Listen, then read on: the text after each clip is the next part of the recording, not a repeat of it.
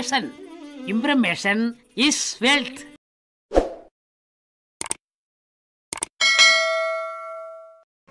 hi peoples heart attack அப்படிங்கிறது aged பர்சனுக்கு தான் வரும் அப்படிங்கிற ஸ்டேஜ் மாறி போய் நிறைய யங்ஸ்டர் சஃபர் ஆகிட்டு இருக்காங்க.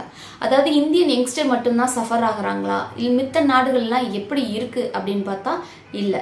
நம்ம மட்டும்தான் ஒரு பத்து வருஷத்துக்கு முன்தங்கி இருக்கோம் அதாவது நமக்கு ஒரு முப்பது வயசில் வர ஹார்ட் அட்டாக்கு மித்த நாடுகளுக்கெல்லாம் நாற்பது வயசுலேருந்து தான் ஸ்டார்ட்டே ஆகுது. இப்போ ரீசன்ட் டேஸில் நிறைய யங்ஸ்டர் நல்ல ஹெல்த் கண்டிஷனில் உள்ளவங்க கூட இந்த ஹார்ட் அட்டாக்னால இறந்து போயிருக்காங்க. நிறைய செலிபிரிட்டிஸில் சஃபர் ஆயிருக்காங்க. நிறைய யங்ஸ்டர் டான்ஸ் ஆடிட்டு இருக்கும் பொழுதே இறந்து போயிடுறாங்க. கடையில் பர்ச்சேஸ் பண்ணிட்டு இருக்கும் பொழுதே இறந்து போயிடுறாங்க. ஸோ இந்த மாதிரி ஏன் நடக்குது? எதனால்? அப்படின்ட்டு ஐஐடி மெட்ராஸ் ரிசர்ச் பண்ணும்போது forty to forty five percentage of இந்தியன்ஸுக்கு genetic variation அப்படின்னு சொல்லியிருக்காங்க. மூணு ரீசன்னால தான் ஹார்ட் அட்டாக் வந்து அதிகமாகுது அப்படிங்கிற ரீசன்ட் ரிசர்ச் வந்து சொல்லுது. அதாவது ஸ்ட்ரெஸ் அண்ட் ஸ்லீப்னால வந்து அதிகமாகுது அப்படின்னு சொல்கிறாங்க ப்ரெஷர் அதிகமாகும் போது டார்கெட் ஓரியன்டான ஜாப்ஸ் பார்க்கும்போது ப்ளஸ் வந்து ஒரு பயம் ஃப்யூச்சர் நினச்ச ஒரு பயம் பசங்களோட எஜுகேஷனை நினச்ச ஒரு பயம் ஒரு ஜாப் லெஸ் ஆகிட்டா என்ன பண்ணுறது ஜாப் இல்லைன்னா அப்படின்ட்டு வேரியஸ் ரீசனால பயம் வருது. பயம்னால ஸ்ட்ரெஸ் அதிகமாகுது. ஸ்ட்ரெஸ் அதிகமாகும் போது ஸ்லீப் வந்து கம்மியாகுது அந்த quality and quantity of sleep வந்து கம்மியாகுது. டிஸ்டர்ப்டு ஸ்லீப் இருக்கும்போது பிளட் ப்ரெஷரும் கொலஸ்ட்ராலும் அதிகமாகுது. ஸோ அதனுடைய எண்டு ஹார்ட் அட்டாக்ல வந்து முடியுது. Second point lack of exercise and diet exercise அப்படிங்கிறது ரொம்ப முக்கியம் அப்படின்ட்டு WHO வேர்ல்டு ஹெல்த் ஆர்கனைசேஷன் சொல்லியிருக்காங்க. Weekly one fifty minutes of exercise பண்ணணும். மீடியம்ல இருந்து ஹை எக்ஸசைஸ் பண்ணணும் அப்படின்னு சொல்லியிருக்காங்க. நம்மள நிறைய பேர் அதாவது ஃபிஃப்டி பர்சன்டேஜ் ஆஃப் இந்தியன்ஸ் அதை பண்றதே இல்லை. என்ன ரீசன் சொல்றோம்னா டைம் இல்லை அப்படிங்கிறத சொல்றோம். அதாவது வீட்டில் ஃபர்ஸ்ட் ஸ்டார்ட் பண்ணணும் இனிஷியேட் பண்ணணும்.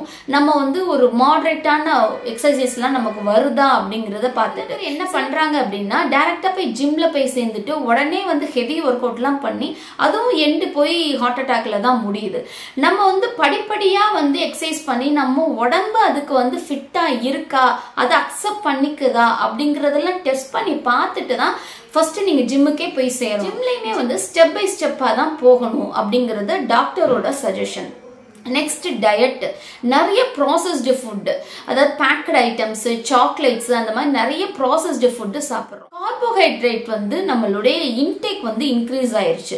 ப்ரோட்டீன் வந்து கம்மி ஆயிருச்சு சுகர் கண்டென்ட் ஜாஸ்தி ஆயிருச்சு. அதாவது நூறு வருஷத்துக்கு முன்னாடி சுகர் வந்து எவ்வளோ ஒரு மாசத்துக்கு எடுத்துட்டு இருந்த சுகர் நம்ம ஒரு நாளைக்கு எடுக்கிறோம் அப்படிங்கிற சர்வே வந்து சொல்லுது. நிறைய ஹெல்த் ட்ரிங்க் எல்லாம் போடுறாங்க. அந்த ஹெல்த் ட்ரிங்க்ல செவன்டி ஃபைவ் பர்சன்டேஜ் வந்து சுகர் தான் இருக்கு. அது எப்படி நம்ம ஹெல்த் ட்ரிங்க்னு சொல்ல முடியும்? ஸோ ப்ராப்பரான டயட் வந்து ரொம்ப ரொம்ப முக்கியங்க.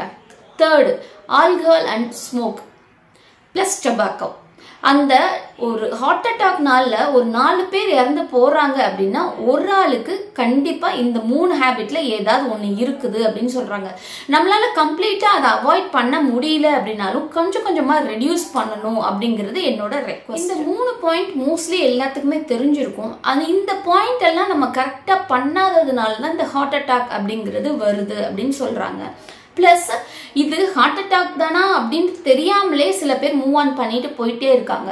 செஸ்ட் வந்து பெயினாக இருக்கு அப்படின்னு சொல்லிட்டு கொஞ்ச நேரம் ரெஸ்ட் எடுத்துட்டு அப்படியே மூவ் ஆன் பண்ணிட்டே போறாங்க. அப்புறம் லேட்டரா என்னன்னா பிளட் கிளாட் ஆயிருக்கு. சர்ஜரி பண்ணணும் அப்படிங்கிற எண்டில் போய் முடியுது. அதனுடைய அறிகுறி என்ன அப்படின்னா செஸ்ட் பெயினா இருக்கும். மூச்சு விடுறதுக்கு கஷ்டப்படுவாங்க. நிறைய வேர்க்கும் இந்த ஜா லைன்ஸ் வந்து பெயினாக இருக்கும். இதுதான் சைனே இந்த அறிகுறி இருந்துச்சு அப்படின்னா தயவு செஞ்சு ஹாஸ்பிட்டலில் போய் செக் பண்ணிக்கோங்க.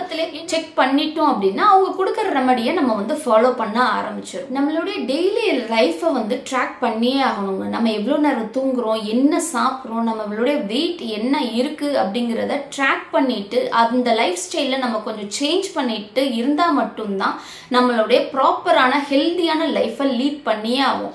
இந்த ஜிம்மு எக்ஸசைஸ் எல்லாத்துலேயும் மெடிடேஷன்றத ஒன்று ஆட் பண்ணிக்கோங்க. ரொம்ப ரொம்ப ரொம்பவும் முக்கியங்க.